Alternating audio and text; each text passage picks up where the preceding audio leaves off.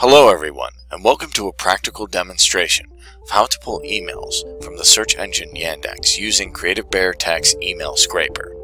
Now Yandex is a Russian multinational corporation. They do different services that are internet related. They also help with search, as we're seeing here, and they do other services such as e-com, transportation, navigation, mobile apps, and even online advertising.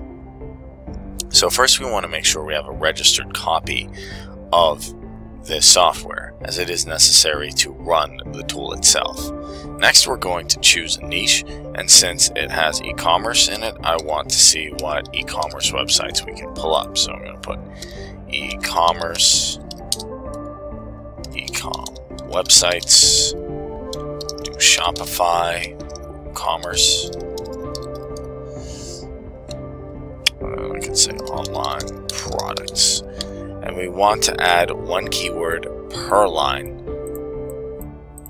Then after we're done with that, we can hit more settings and make sure that we have some proxies configured. Proxies are recommended so you don't get your IP address banned while we're running the scraper. And to get proxies, you can use stormproxies.com or Hashcell to acquire them. Next, we want to make sure our speed settings are good so we can get the results we want from parsing it to see how many websites we're going to scrape and how many emails we want to get from those websites. We're verifying that we have our captcha in here and we have an API code. And then we're going to go ahead and select Yandex and make sure that it populates in the selected source list and then we're going to hit save and close and go ahead and run the software.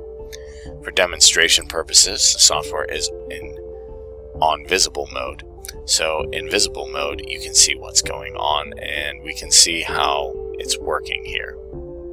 We can see that it's working here looking at different websites and it's pulling information as a result of that.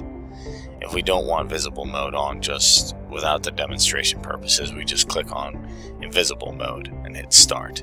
So now we're going to allow it to run and we're going to get some of our websites, different emails that we're scraping. And we can see here what the tool is actually doing, where it's going, where it's looking, how it's pulling different information. We can see different websites it's looking at, what it's doing. So now we've pulled some results pretty quickly. So I'm going to go ahead and stop. It's going to say searching is stopped. Now I can go ahead and click export and we can see the file name is e-commerce 66 the date CSV. Now we can open this by typing that in the search bar or we can go to our folder wherever we have the software and then I'm really interested in getting this so I can see e-commerce wherever it's saved and I can click on Excel to open it up and we're just going to give it a second here for it to open up.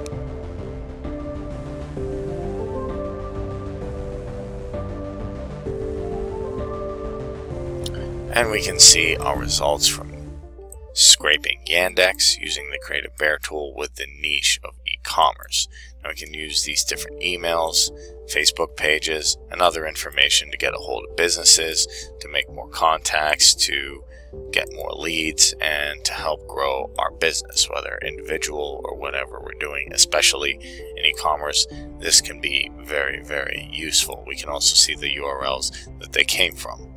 Thank you very much for watching this demonstration on how to pull emails from Yandex using the Creative Bear Scraper tool.